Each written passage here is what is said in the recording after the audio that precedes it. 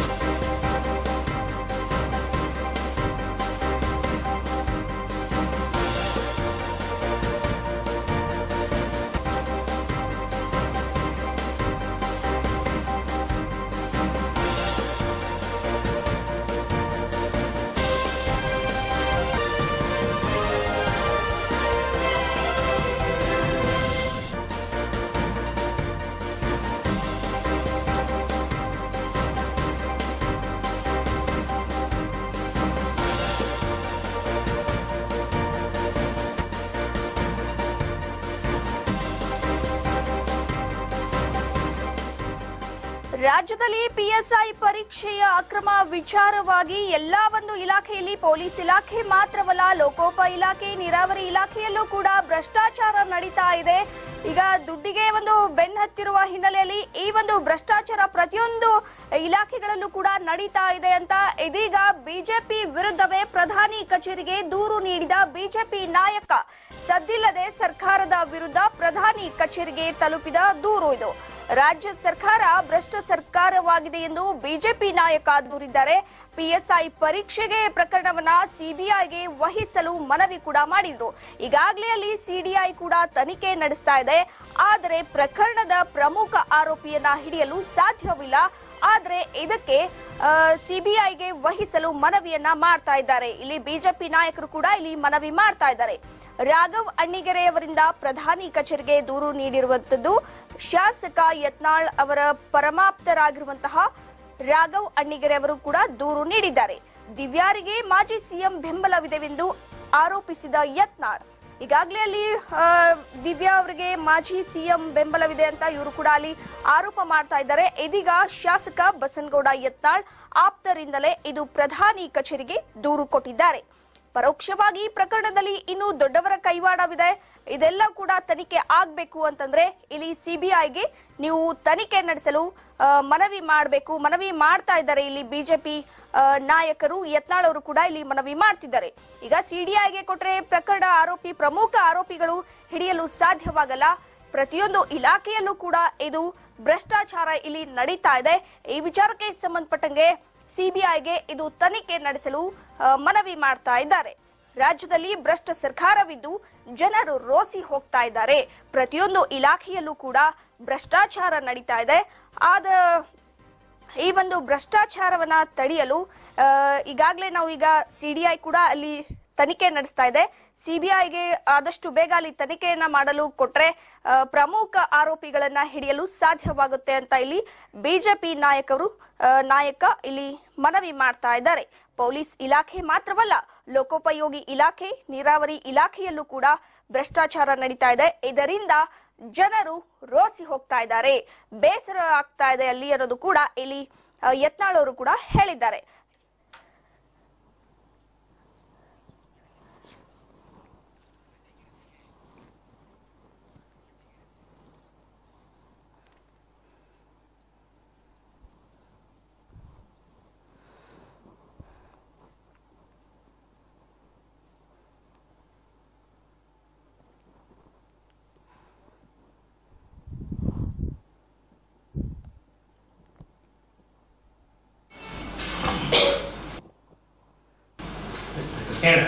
ಇವತ್ತು ನಮ್ಮ ದೇಶದ ಗಡಿಯನ್ನು ಸೈನಿಕರು ಜವಾಬ್ದಾರಿಯುತವಾಗಿ ನೋಡ್ಕೋತಾರೆ.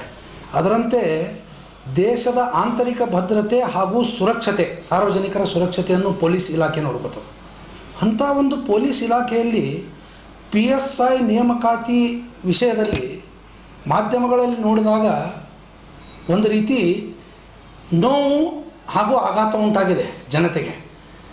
ಈ ವಿಚಾರ ಇಷ್ಟಕ್ಕೆ ಬಿಡಬಾರ್ದು. ನಾನು ಮಾನ್ಯ ಪ್ರಧಾನಮಂತ್ರಿಗಳು ಹೇಳಿದಂಥ ಒಂದು ಮಾತು, ನ ಖಾವುಂಗ, ನ ಖಾನೆ ದೂಂಗ.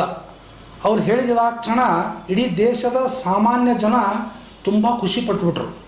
ಏನಪ್ಪ, ದೇಶದಲ್ಲಿ ಒಬ್ಬ ಒಂದು ಒಳ್ಳೆಯ ನಾಯಕತ್ವವನ್ನು ನಾವು ಪಡ್ಕೋತಾ ಇದ್ದೀವಿ ಅಂಥೇಳಿ ಆದರೆ ಇವತ್ತಿನ ಈ ಕರ್ನಾಟಕದ ಬೆಳವಣಿಗೆ ನೋಡಿದರೆ ಐದುನೂರ ನಲವತ್ತೈದು ಪಿ ಎಸ್ ಐ ಹುದ್ದೆಗಳು. ಇದರಲ್ಲಿ ಐವತ್ತರಿಂದ ಎಂಬತ್ತು ಲಕ್ಷದವರೆಗೆ ಒಬ್ಬೊಬ್ಬ ಅಭ್ಯರ್ಥಿ ಕಡೆ ಹಣ ವಸೂಲಿ ಮಾಡಿದ್ದಾರೆ. ಬಹಳ ನೋವಿನ ಸಂಗತಿ. ಇದು ನಾನು ಹೇಳ್ತಾ ಇಲ್ಲ.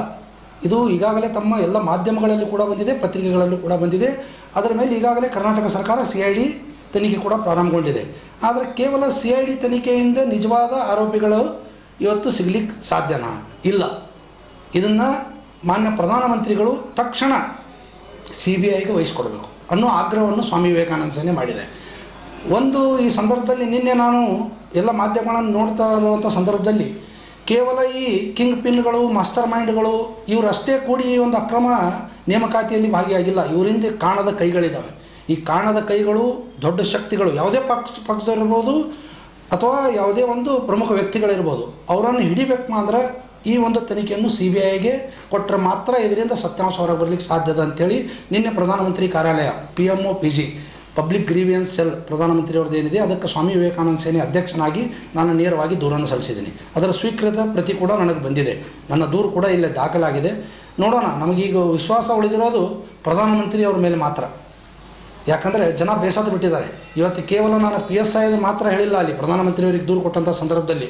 ಪಿ ಡಬ್ಲ್ಯೂ ಡಿ ಇರ್ಬೋದು, ನೀರಾವರಿ ಇಲಾಖೆ ಇರ್ಬೋದು, ಆಮೇಲೆ ಮತ್ತು ನಮ್ಮದು S D A F D A exams ಇರ್ಬೋದು, ಇದರಲ್ಲೂ ಕೂಡ ಇವತ್ತು ಅಕ್ರಮ ಆ, ನೇಮಕಾತಿ ಆಗಿದೆ ಹಾಗೂ ಲಂಚ ತೊಗೊಂಡು ಇವತ್ತು ನೇಮಕ ಮಾಡ್ಕೊಂಡಿದ್ದಾರೆ ಅನ್ನೋದು ದೂರುಗಳು ಸಾಕಷ್ಟು ವರ್ಷದಿಂದ ಕೇಳಿ ಬಂದಿದೆ.